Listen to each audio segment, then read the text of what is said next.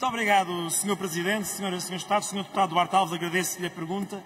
E, de facto, nós temos uh, um processo de renegociação que depende da vontade de ambas as partes.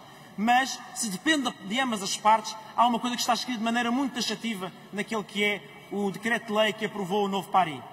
É que os bancos não têm outra opção senão apresentar aos clientes uma proposta de negociação.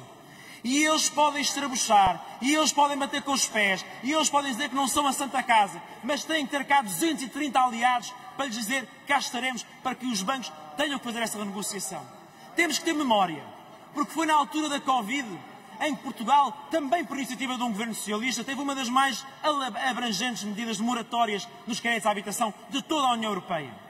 Temos agora, como o Sr. Deputado disse, e muito bem, que assegurar que os clientes têm mais poder negocial e que os bancos não podem inventar obstáculos para impedir que, de facto, possam fazer uh, as renegociações.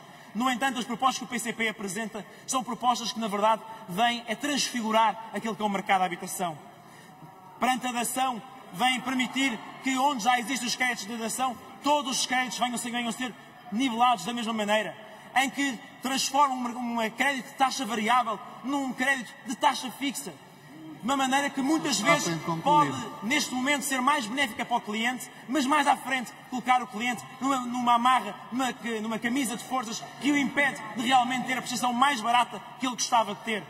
E é por isso, Sr. Deputado, que sim, queremos construir com todos os partidos aqui uma resposta, mas uh, essa resposta não é certamente os caminhos que o PCP apresenta, é os caminhos que já na Covid demonstramos e que temos que continuar. Muito obrigado, Sr. Deputado. Muito obrigado.